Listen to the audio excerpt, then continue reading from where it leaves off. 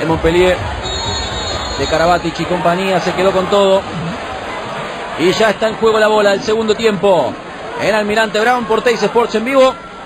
Francia, sí, sí, leen bien. 14, Argentina 16. Arriba los gladiadores sobre los experts. Nicola Karabatic jugando con Jerón que se corrió al lateral derecho. Me encanta que Jerón juega de cualquier lado, eh. Y míralo. Que en realidad este equipo, no en los últimos años, pero históricamente ha jugado más ahí a la derecha que a la izquierda. Dos europeos en los últimos años, si contamos el anterior lanzamiento de Fede Vieira. Dicen, che, yo de este lado también tengo lo mío, eh. Creo que le hicieron tres penales en la misma jugada. Ahí está el gol de Vieira, mano a mano, y dándole la bienvenida además a Dumoulin, el arquero que acaba de ingresar, y aquí está otro de los que ingresó de tres, que recibe la infracción. Va Gerón para el segundo penal francés. Define a la derecha de Matías Jules. Gol para Francia. En el ámbito local juega de central, pero bueno, en la selección suele pasar esto. Lindo pase para Fede Vieira. Gol para Argentina. Se vuelve a poner dos arriba. El tanto de Fede Vieira que pasa, circula, nadie lo sigue.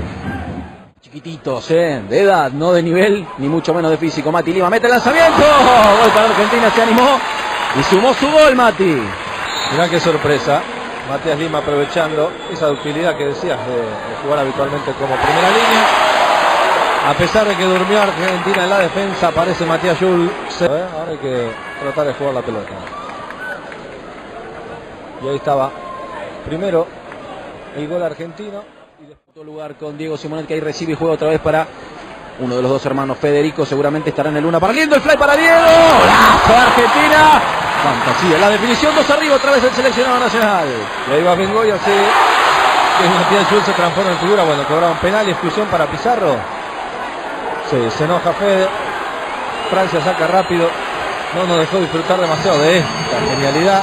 Por eso habían permutado la posición. Directamente Argentina fue a buscar el fly. Hizo el gol de Simonetti. Y después penal puede ser. Exclusión. Ni siquiera comete una falta. Casi que se cruza por delante. Es finito. El reglamento dice que no se lo puede tocar. A la cancha el negro García para intentar atajar el tercer penal de Francia. Con Jerome. Una mague en el segundo. Arriba de la cabeza del negro. Nada que hacer para él. Gol para los franceses. Goles de Argentina. 11. 11 jugadores de campo distintos convirtieron goles los 20 que hizo Argentina. Hay un plantel largo, ¿eh? hay un equipo en Argentina afortunadamente. Otro intento de Fla. Bárbara la definición de Juanpi Fernández. Gol para Argentina. Y este no fue como el anterior previsto de antemano, sino que surgió espontáneamente. Ahora es Piña dar y Piña recibir. Palo y palo el partido. Ahí va. Le ganó la espalda, encontró ese espacio, buscó el fly y consiguió el tanto Juanpi Fernández. De Dumulani, salida para Francia. Cambré solo en el extremo. Bingo. Mirás vos, saltó con la derecha. Definición del primer palo. Empata el equipo galo. Tres goles del extremo, todos en este segundo tiempo. Tiro libre para Argentina. 21 iguales. 21 por jugar, ¿eh? todo el 21. Bien por Diego Simonet. No pudo Dumulán. Gol para Argentina y exclusión para Luca Carabate.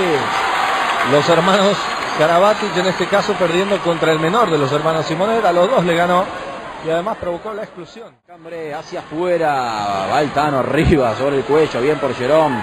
Mejor por Plati. Se viene el pasivo. No, mira el gol que mete Jerón Fernández. Por favor.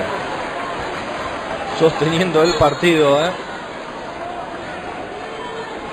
El capitán de Francia. Primero metió el giro, después le dieron un pequeño espacio. Y ahí está. El clavo arriba del primer palo. Y se viene el negro García. 7 metros para Argentina. En parte los viene intimidando con la protesta permanentemente Karabatic durante todo el partido. Ahí está. Lo tocaron a la pasada Fede Vieira.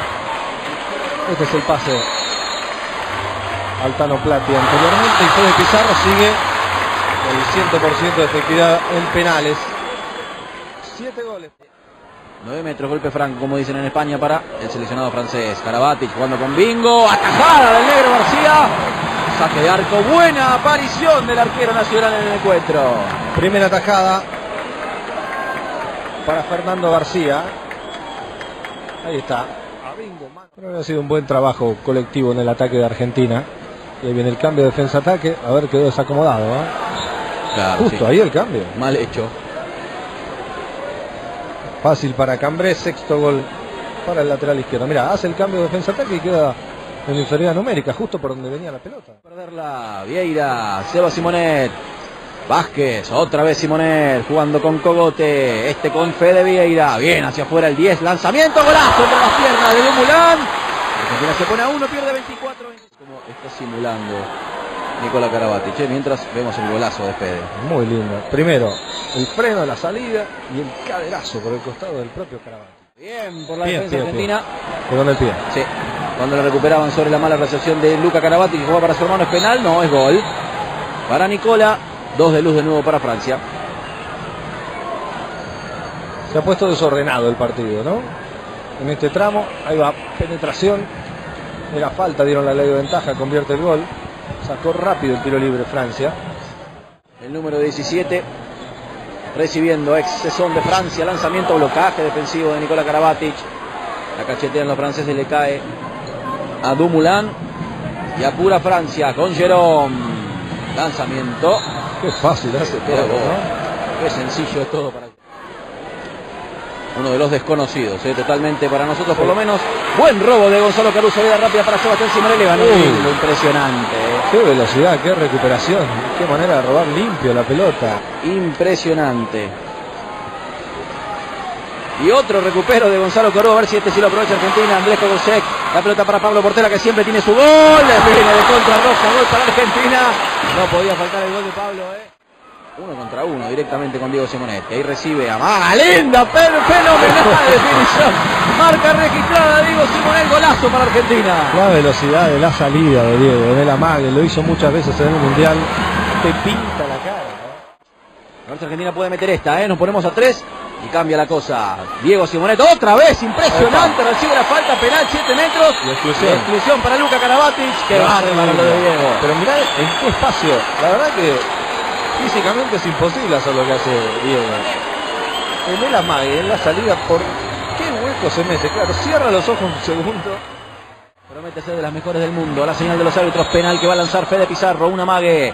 En el segundo lanza otra vez gol. Dumulán no puede hacer nada. Bien por Fede a tres Argentina. Marcarlo a este eh, que tiene un bracito. Bingo. Al segundo palo. No se hace problema. El 27 que sigue sumando. ¿eh? Sí, cuatro goles para el Moreno en esta contendida el segundo palo. Migueles, Diego Simonet, Agustín Vidal, buena pinta, define el... Perfecto, sí señor, 7 metros y exclusión. Sí, afuera se bañó Cas. Esta es la de Bingo, al segundo palo de la tendida. Y después el contraataque de Guillaume Joly. Y esta es la buena pinta de Vidal, la infracción de casi el penal. Otra vez Pizarro, otra vez frente a Dumulán que se adelanta. ¿Le tira un globo, Fede? No, sin amague. A media altura, gol para Argentina. Uno más para el 3. Cuatro abajo Argentina. 9 de Federico.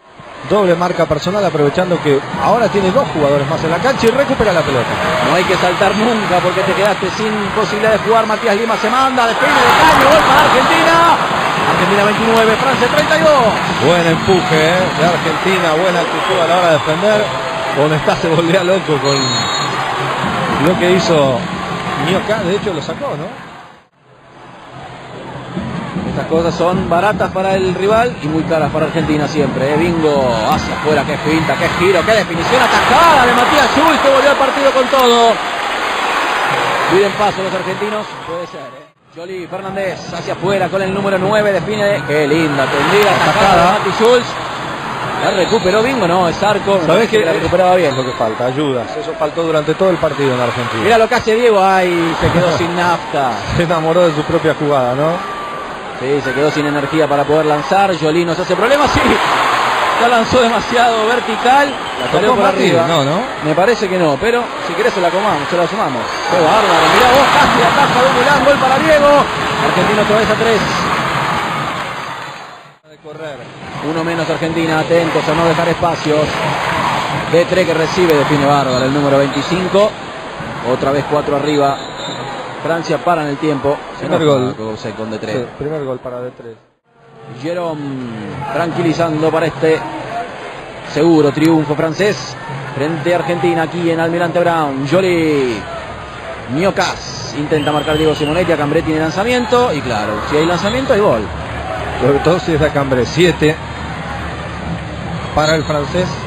35, 30 y menos de un minuto por jugar. Del Luna Park. No se lo pueden perder, ¿eh? la revancha de este partido que está a punto de ganar Francia. Ahí va Migueles hacia el centro, juega para un Diego Simón muy marcado, lanza la roca, es penal, creo que sí, y exclusión para Ñocas. Bien los árbitros en esta. En poco tiempo, segunda para el 10, ¿no? Estadio donde ya estuvimos en diciembre. Mientras atajan sobre Kogobsek, lanza fuera Matías Lima, se va a terminar el encuentro con victoria francesa, pero sin empañar lo bueno que hizo Argentina. Absolutamente nada, ¿eh? Argentina se va a llevar un aplauso, ha jugado para hacer un partido de preparación, de entrenamiento, un gran juego, un gran duelo. Aquí está donde está el técnico de Francia que gana este primer test match frente a Argentina 35 a 30.